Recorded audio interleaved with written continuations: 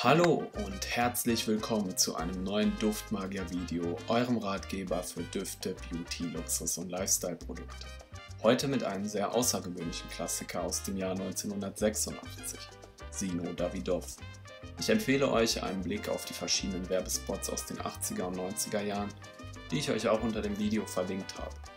Duftdesigner Michel Almerac ist unter anderem bekannt für das Parfüm New Pomme, das ich euch schon in einem vorherigen Video vorgestellt habe. Der Duft hat eine vergleichsweise gute Silage und wartet mit einer überdurchschnittlich hohen Haltbarkeit auf. Die Vielzahl an Duftnoten macht das Parfüm komplex und lassen es somit zu einem echten Erlebnis für die Sinne werden. Um es auf den Punkt zu bringen, der Träger macht sich mit diesem Duft interessant für sein Umfeld. Man möchte wissen, was wirklich dahinter steckt.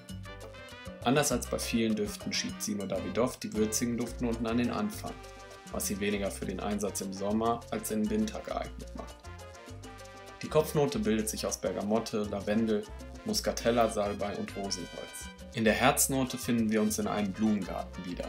Wir nehmen Rosengeranie, Jasmin, Maiglöckchen und Rose wahr. Die Basisnote sorgt für einen runden Abschluss mit leicht süßen Noten. Sie besteht aus Amber, Patchouli, Sandelholz, Tonkabohne, Vanille und Zeder. Weil er sehr speziell ist, empfehle ich diesen Duft weniger für den Büroalltag, denn für die Freizeit.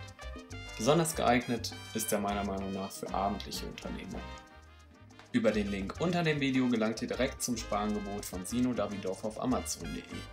Wenn euch das Video gefallen hat, hinterlasst bitte einen Daumen nach oben und einen Kommentar. Bis zum nächsten Video. Ciao.